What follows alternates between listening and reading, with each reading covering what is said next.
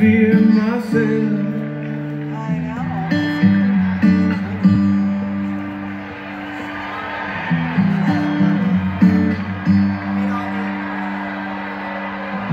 Tell me something, boy.